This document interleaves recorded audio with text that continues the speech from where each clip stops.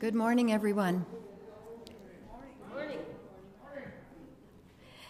And welcome to you in the pews and to you at home to worship with us at Unity United Church in Midland. And thank you to all who make this worship happen. Thank you to Myrna for providing the music and preparing us, the choir, every week.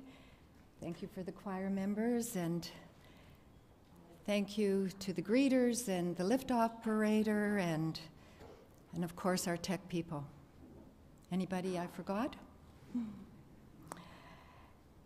And this morning we pray for Shirley Wilson, a member at Unity who who formerly was at Unity who has suffered a stroke and is in hospital in Whitby. And I'd like to convey to all of you that Jean Whitaker phones me quite often from Alberta, and she sent her greetings uh, to all of us for a happy new year. So we don't forget our former, well, they're always our friends, but our former uh, members of this church. And our birthdays this morning are Cindy Pearson on January 16th and John Webb on January 21st. Same birthday as my brother. are there any other birthdays or celebrations? Oh, Phyllis's was yesterday. Had a, a wonderful little birthday supper with Phyllis, and Joanne came. Joanne is, is uh, not very well, but uh, she uh, was so happy to celebrate um, with Phyllis's fam- uh, with Phyllis, myself, and Brian, uh, the birthday. So let us. Anybody else? Clara. Clara. Oh, Clara's birthday is tomorrow, and how old is Clara? Nine. Oh my. Nine. Let us sing happy birthday. Happy birthday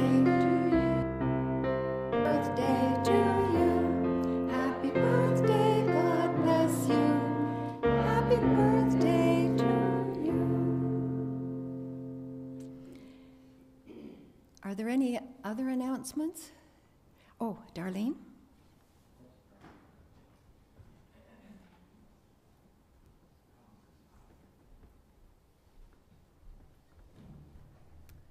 Volunteers, you are needed. Uh, many volunteers are doing all of the jobs, the varied jobs that we have here at uh, Unity, and volunteers make this church tick, as you know. So we're looking at the sign up sheets for the interest groups. I've put them downstairs. Take a look see what interests you, and uh, sign up where you can help. Challenge yourself. Try something you haven't tried before. Do something you haven't tried before. You might feel really creative and want to be on the decorating team. Or you may think you need to learn what Ross does back there. and and sign up for um, letting him have a break when he needs one. And if you feel like you need to um, get your exercise going, Carol Cooper will get you going with fitness. That's another option. So please sign up and check the list downstairs. And um, I guess I, I just have to say, many hands make light the work for all of us. So please sign up today or before next Sunday. That will give Charlotte and Barb time to put them in the annual report. Thanks.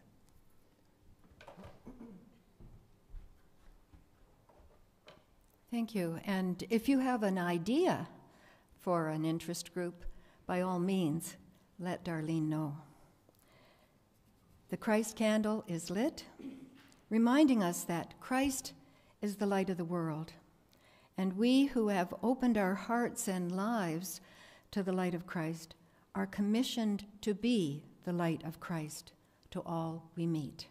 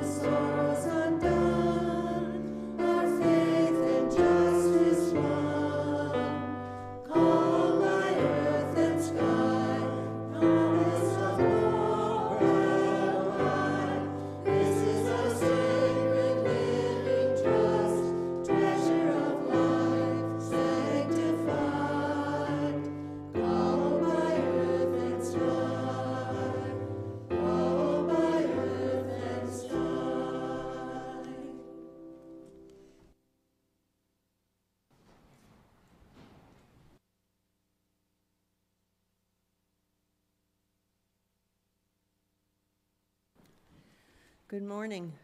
Isn't it wonderful to see the sunshine? Please read with me responsibly, responsively the call to worship. Through the waters of baptism, God is the divine presence. Jesus was called through the waters of baptism. Through the waters of baptism, we too are called. By the sacrament of baptism, we are marked and claimed as God's own. Jesus was claimed as God's own, commissioned to do God's ministry, and empowered by the Holy Spirit.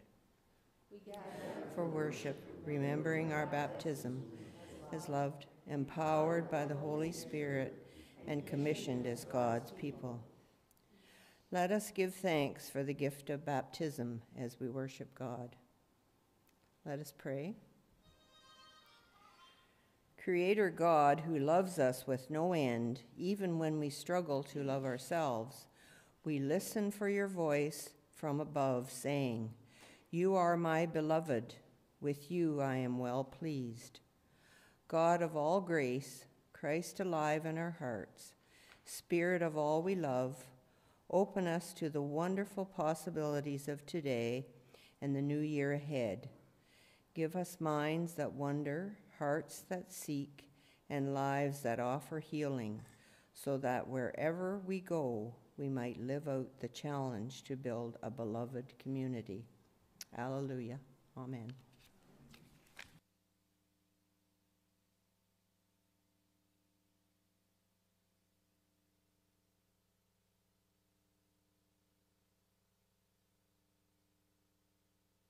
Our story this morning has a powerful message for us, for all of us.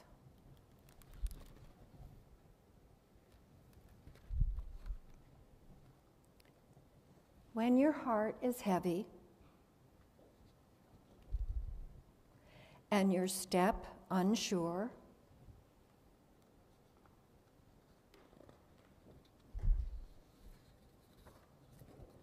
when the winds are wild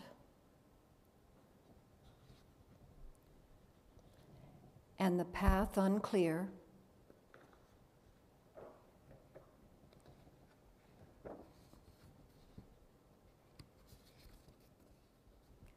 Don't fear the night, so dark and vast.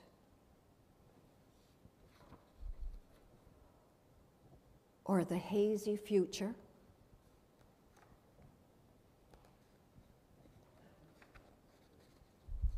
Or the stormy past.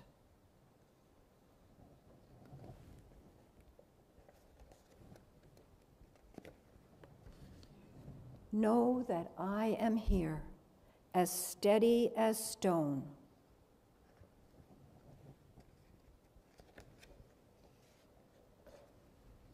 We are stronger together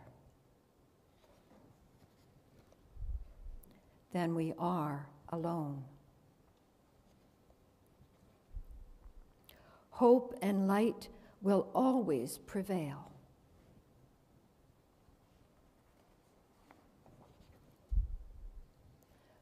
For love wins.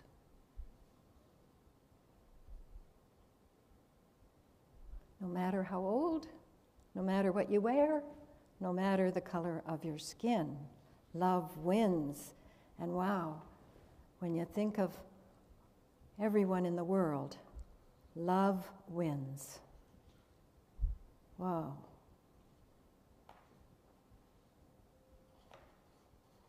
Love wins. Love will never fail. All around the world.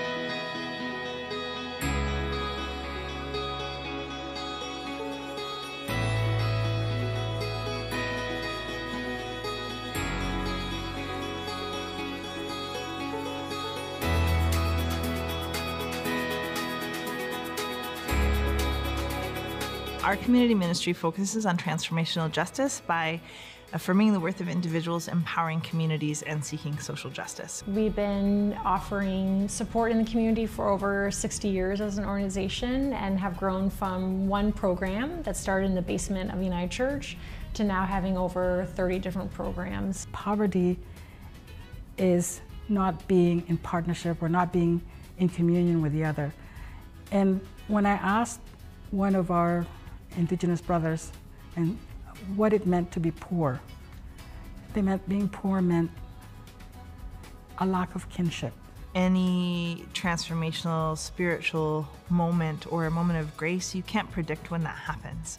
It could be because it was your 30th bowl of soup for breakfast, or it could be because uh, you got your income stable, and um, it could be that you had a place to sleep while you were working but not earning enough to find an apartment, and you had a safe place to keep your things while you were at work until you could find a new apartment. And that's one of the reasons why. Um, we have such a broad spectrum of programs that we offer because there's no one magical thing or moment or program that works for everybody being a sober parent is a big step for me. Like I've been sober before, but not this long to being a parent. And I use my tools from talking to people that understand and that can give me good, honest advice back. And it's usually here at work, outreach, the minister, my boss, um, people up in the admin. It just gives me that strength that it's okay, I'm not alone. My experience here has been uh, a positive one. I've been coming here for 11 years. Um, I mostly come for the meal program. They've helped me with mental health issues, finding suitable housing. Uh, it's been nothing but a positive experience. By giving back to the community sometime, you know, they give back to us also. It's all about lots of love. The love here, honestly, it's crazy. It's really crazy. When you come here, the door is open. I like it because it's friendly. Well, I was a single parent and had my son home alone was on a fixed income. I needed somewhere to take him where he could interact with other children. It um, helps the uh, people who actually need help. For me, it was just a sense of community. It was, it was just nice. We do drumming and pray together and read the gospel and offer smudging and traditional medicines to everyone in the room. We do community ministry because Jesus told us, feed my sheep, take care of my people. Your gifts to the mission and service of the United Church of Canada help make programs like these possible. Thank you, and please continue to give.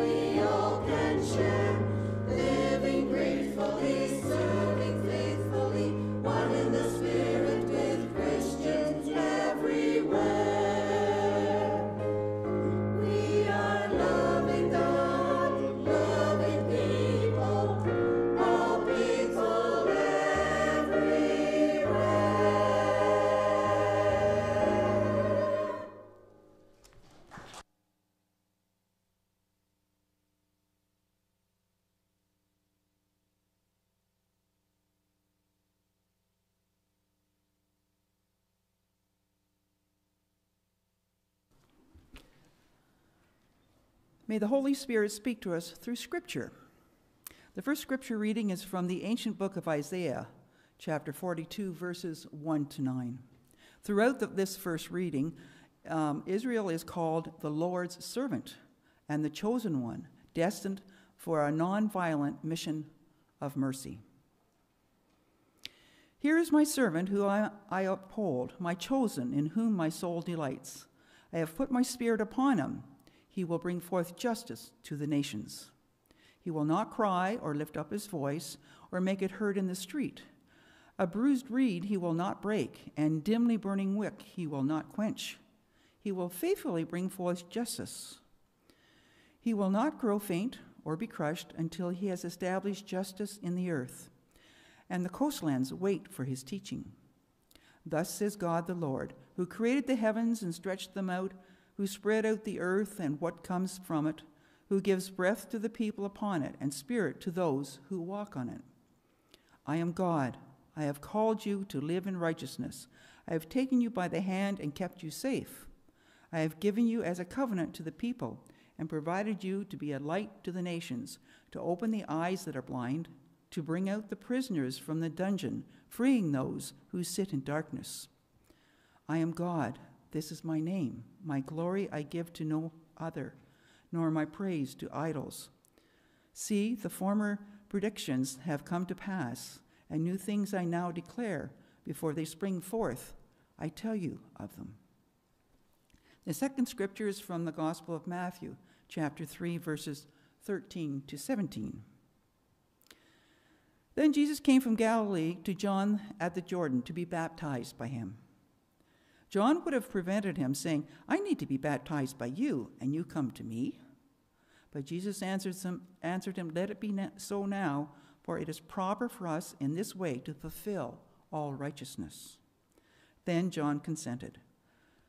And when Jesus had been baptized, just as he came up out of the water, suddenly the heavens were opened to him, and he saw the Spirit of God descending like a dove and alighting on him. And a voice from heaven said, This is my God, my Son, the beloved, with whom I am well pleased. Herein is God's word. Thanks be to God.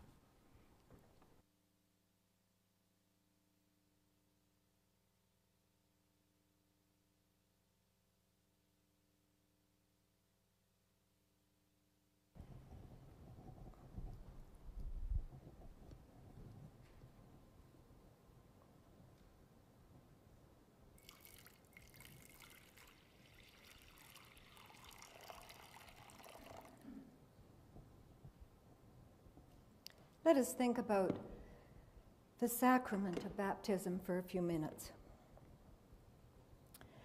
A sacrament is a universal Christian act that is a visible symbol of God and channel, channel for God's grace.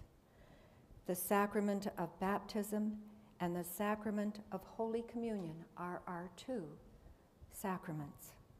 I did a paper on baptismal fonts while at Emmanuel, and since then, whenever I traveled and visited churches, I looked for the baptismal font and discovered how beautiful many were.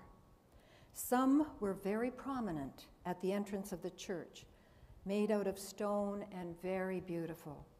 And one church in Germany where Martin Luther preached this church is built over a running stream. And there is a hole in the floor at the front of the church where people kneel for baptism with the flowing water. And when I went on a tour of the Holy Land, there were a couple of women on the trip whose sole purpose for the trip was to be baptized in the River Jordan. And it was a beautiful ceremony. Singing, and the rest of us were sitting on the platform singing hymns as several were fully immersed in a pool beside the Jordan River. Now we're told that we need only be baptized once in our lives, but many people feel the need to renew their baptism, and so the rest of us knelt over the edge for the minister to renew our baptism. I brought back a bottle of water from the Jordan River to mix with local water for baptisms in my church. And then when I went to St. Anthony, Newfoundland, I brought back some water that is claimed to be 10,000 years old because divers go and chip off pieces of icebergs. And if you ever go on a ship out of St. John's, you see the guys diving um, over to an iceberg and um, chip off some ice, and so then you can have 10,000 year old ice cubes in your drinks. Water is universal, and the sacrament of baptism is a universal act.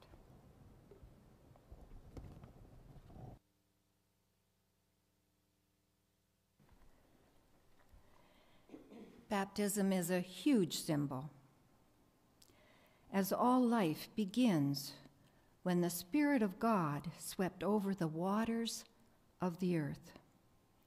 And life begins in the water in the womb.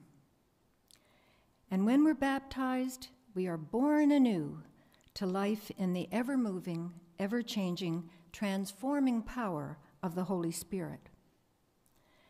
Baptism usually happens in the water blessed and poured from the baptismal font on an infant's head, followed by a mark of the cross in oil. And it is there that we witness the hope for the newborn's life to be empowered by the Holy Spirit. And later, when the child enters the most difficult transformation of his or her life, the teenage years, we bless the child again through confirmation. And then some feel called to deepen their ministry by becoming ordained into a life of ministry by the symbolic act of laying on of hands. But whether we follow the exact order of events or not, we as a community of faith all share, live, and commit to our own personal and broader ministry of the church throughout our lives. God's transformative Holy Spirit is always at work and not to be taken lightly.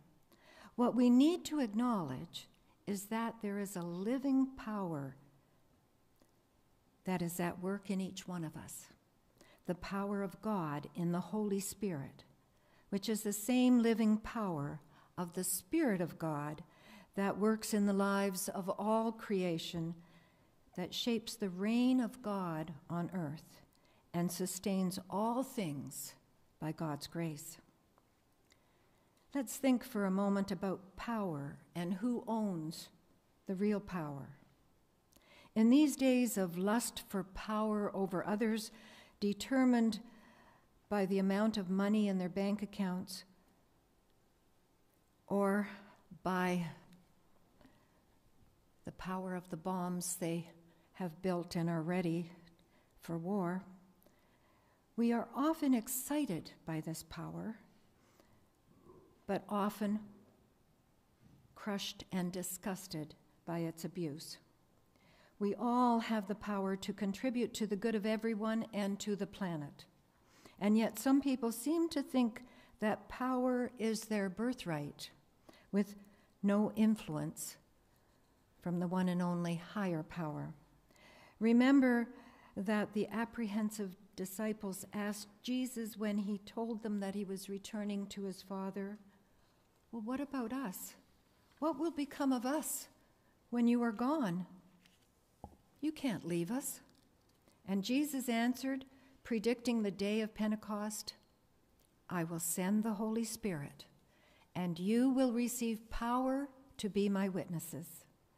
Jesus' power to save the world from self destruction would continue through the faith and ministry of a living church. We must continue to believe and promote that truth. Our New Testament lesson for this morning is Matthew's account of Jesus' baptism. It is actually a public affirmation of who Jesus is one like no other human being who was filled with a supernatural and very potent power. When Jesus was baptized by his cousin John, the skies opened, and a voice was heard saying that he was God's Son, set apart as divine and empowered, so that he could fulfill God's plan for the world. And when John pulled Jesus dripping wet out of the Jordan River, one gospel, called the Gospel of the Ebionites, wrote that at that moment a great light shone through the heavens, and the voice of God thundered, This is my Son, the beloved, with whom I am delighted. Jesus' baptism, then, is a baptism of public power, publicly witnessed and experienced by the community of supporters.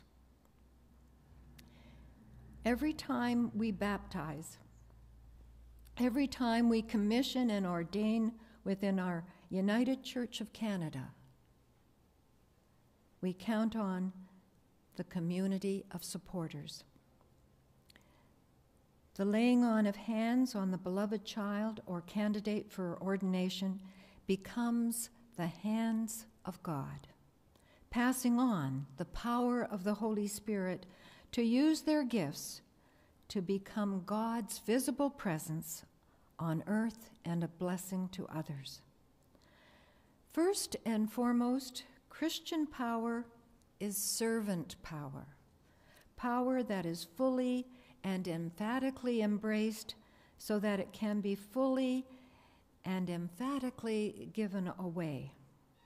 Isaiah's words were written when Israel was still in exile, without land, without influence, without hope.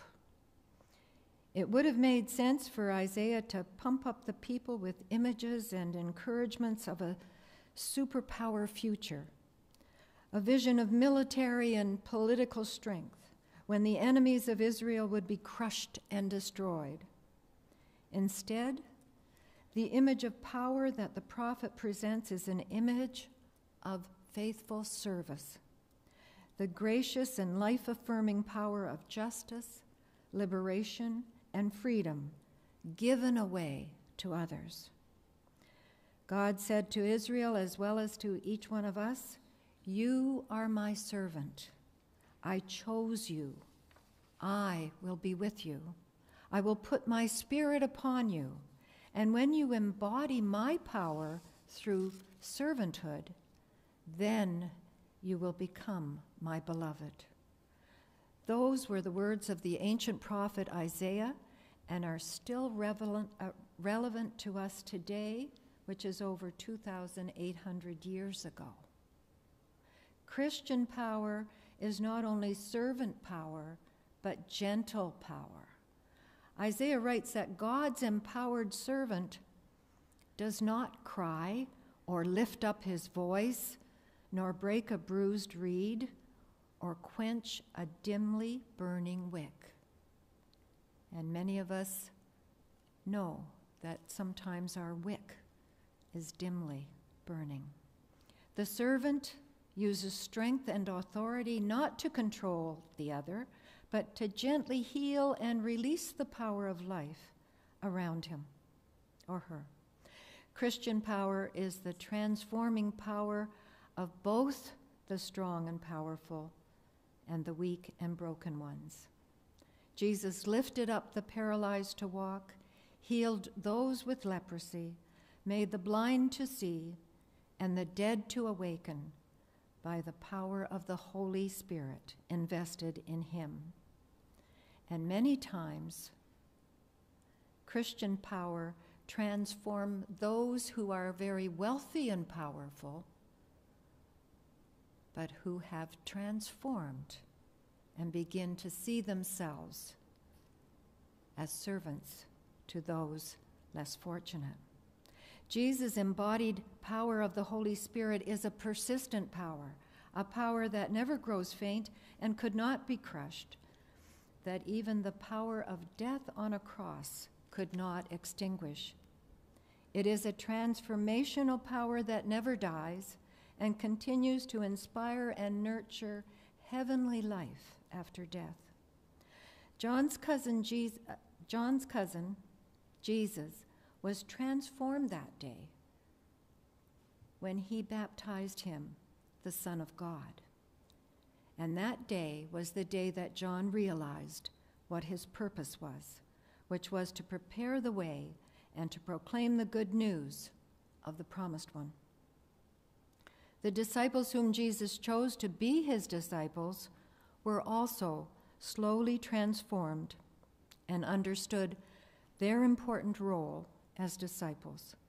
And to this day, we who believe are constantly being transformed when we take the time to pray and listen to the voice speaking to us from deep within. The stories of the Bible are powerful, inspirational stories that have held the meaning of life for over 2,800 years and probably longer. They are stories that come alive by the transforming power of the Holy Spirit, and they hold meaning for each one of us. Thanks be to God.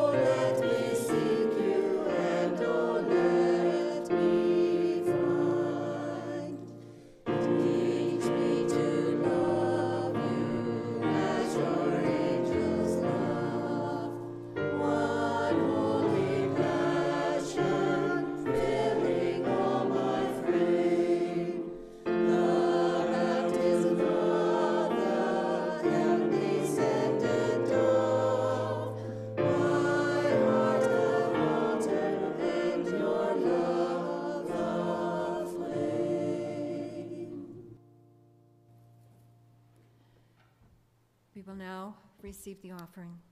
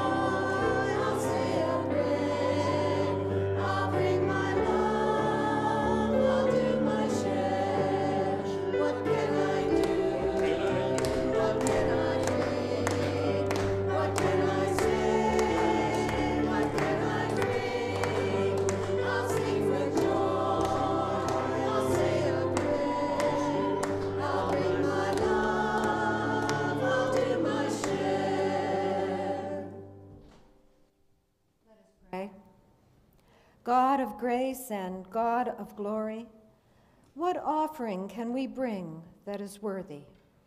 What praise from our lips befits your glory?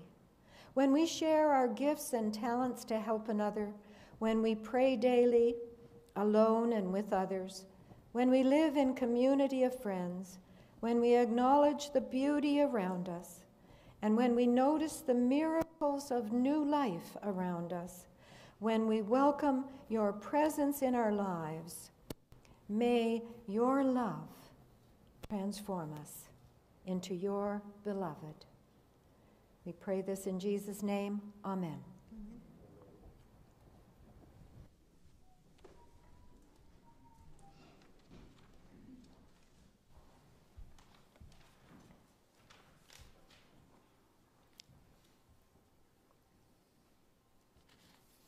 Let us pray. Creator God, during this past hour, may we have felt the movement of the Spirit in this place and within each one of us through the music and words of Holy Scripture.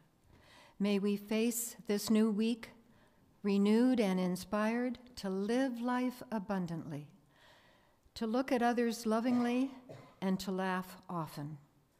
God of love, in whose presence we find what it is to be beloved. We thank you for the expressions of love that we have witnessed in our own lives, amongst our family and friends, our neighbors and colleagues. And may we always remember to love people for who they are, as your beloved, as Jesus loved, and to forgive people as we have been forgiven and to welcome all people into our church, our homes, and our lives.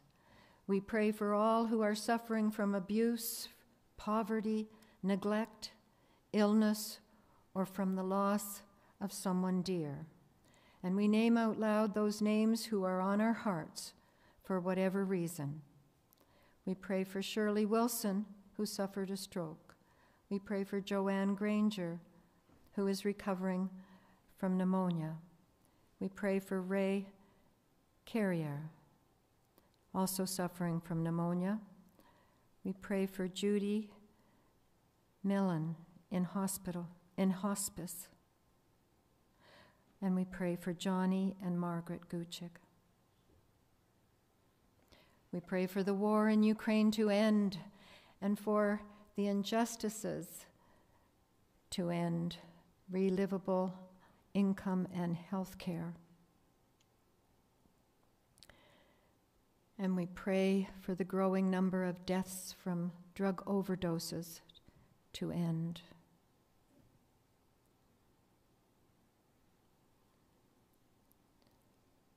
In the silence, please hear our prayers.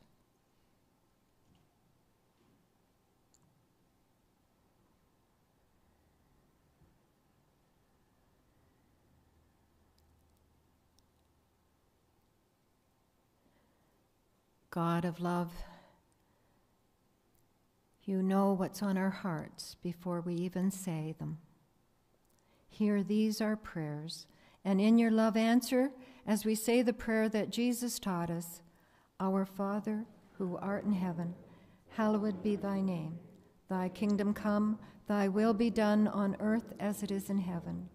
Give us this day our daily bread and forgive us our trespasses as we forgive those who trespass against us. And lead us not into temptation, but deliver us from evil. For thine is the kingdom, and the power, and the glory, forever and ever. Amen.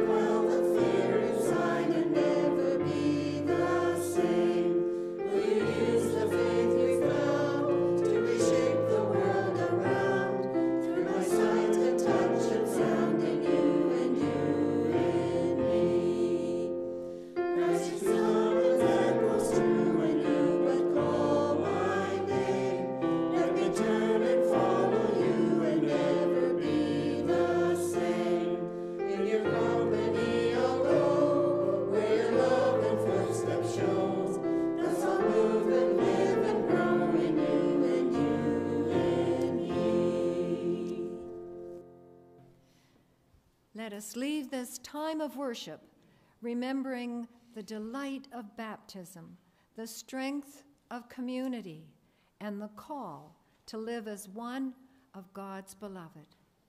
And may the light of God, the love of Jesus, and the Holy Spirit go with you wherever you go. Amen.